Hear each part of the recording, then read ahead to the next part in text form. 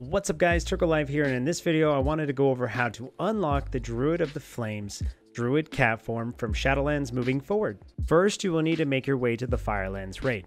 Currently, it's a level 35 raid, so you will want to make sure that you're over that, but it's easily soloable at max level. Now, I understand there is a time walking version of this raid, but showing the farmable version for this video. You will need to kill all bosses to get to Majordomo Staghelm.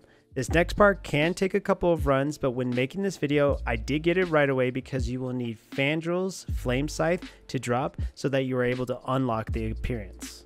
From a recent comment on Wowhead by Xula, they were able to get the staff on their priest. It just has to be attained by someone who can equip a staff.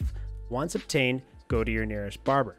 Then go to cat forms and you will be able to apply that appearance permanently during your adventures. Now, I do hope that this quick guide helped you, and if you want to see more MMO content and guides, make sure to hit that sub button. Thank you so much for watching, and I'll see you in the next video.